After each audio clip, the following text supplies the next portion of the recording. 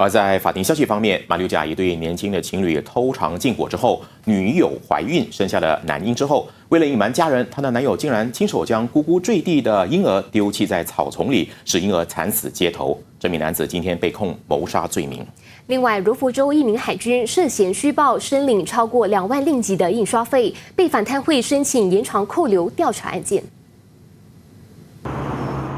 十九岁的餐饮店员工阿莫沙米尔，今早在马六甲艾吉勒推事庭面对谋杀亲生孩子的指控。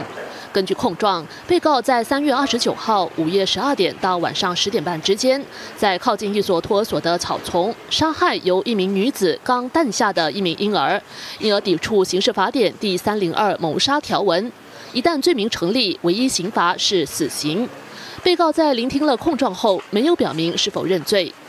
推事将案件定在五月十九号过堂，以等待死者的解剖报告。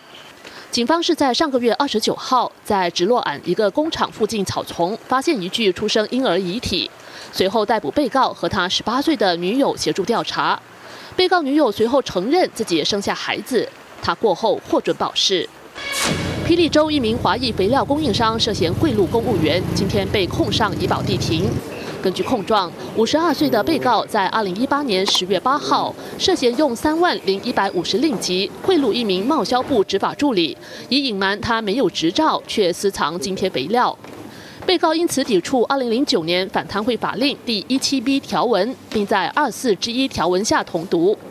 一旦罪名成立，被告将面对不超过二十年监禁刑罚，或罚款不少过汇金五倍，或最高一万令吉，是何者为高？被告否认罪名，法官允许他以两万五千令吉以及一名担保人保外候审，但每个月必须到太平反贪会报到。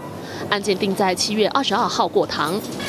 而在柔佛新山，三十六岁的皇家海军部队后勤组主任，因为涉嫌伪造单据，申领一笔为数两万四千两百五十令吉的纸袋和布条印刷费，但却没有提供任何印刷品。昨天遭反贪会传召问话，随后落网。